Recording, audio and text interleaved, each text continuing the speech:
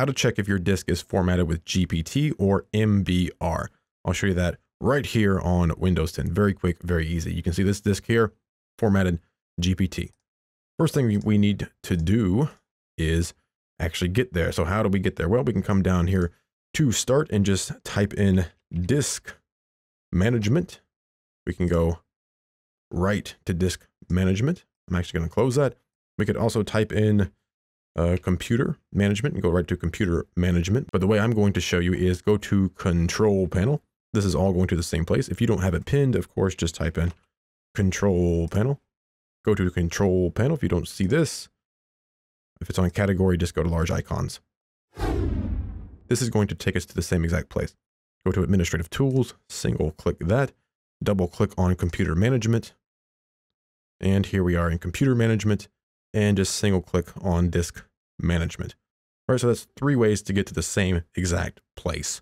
Once you are in disk management, you can see all of our disks here and all of our disks and partitions down here as well. So to see if they are GPT or MBR, we don't click on the actual volume here. What you want to do is come over here to the side where it says disk 0, disk 1, disk 2.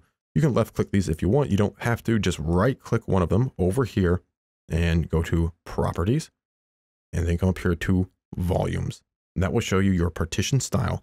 And this is a GUID partition table or GPT. So that's the really quick and easy way to see if your disk is formatted with MBR or GPT. Come down here because I do have one that's formatted MBR right here. Right click on disk 5, same thing, properties, volumes, and partition style is MBR or master boot record. All right, there's another quick way without actually going through that that you can tell. So disk uh, 4 here, or F, properties, volumes, you can see this is GPT. Now, if I just right click on this, we'll see this grayed out here, convert to MBR. The reason it's grayed out is because there's something on this disk. I would have to actually uh, delete that volume first if I wanted this to be uh, in black instead of in gray. But we can still see it says convert to MBR. If your disk is GPT, this here where it says convert will say convert to MBR. If on the other hand, your disk is MBR and you right click here, we can see it says convert to GPT. So it just says the opposite of what the disk actually is. If it says convert to GPT disk, that means the disk is MBR. If we again right click here on a on a GPT disk, it will say convert to MBR.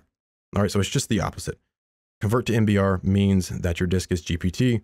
Convert to GPT means the disk is MBR. A little confusing, so you can always just come in here uh, to your disk, right click, properties, volumes, and you can see right there the partition style GPT or MBR.